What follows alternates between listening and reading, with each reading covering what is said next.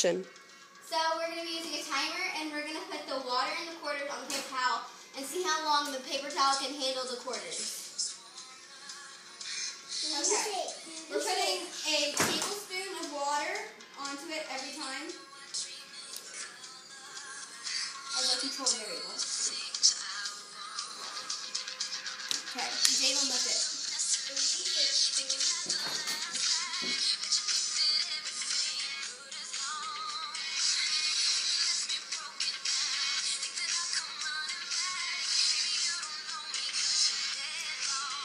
That one's working really well.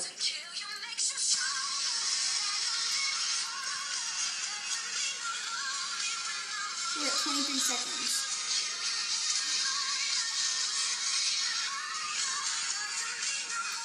Intense action line. Okay, we need to restart. Why did that take so long? Because you barely put any.